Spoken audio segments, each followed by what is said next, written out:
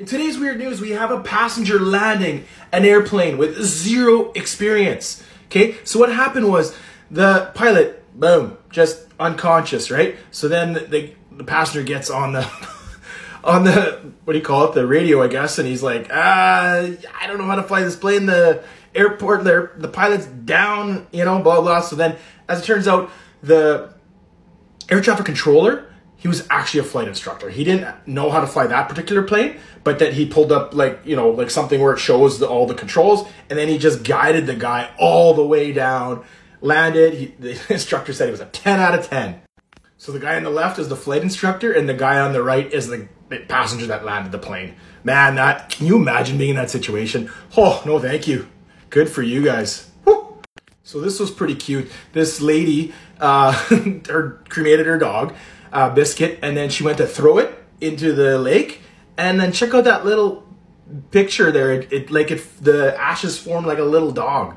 That's pretty cute and pretty neat. oh, this is hilarious. So this pizza place called Welsh.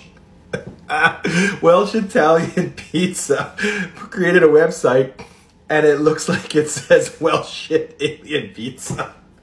Oh man, that's marketing gone wrong. Or maybe it's right because maybe people will see it, laugh, and then go try their pizza. I don't know. Either way, it's pretty funny.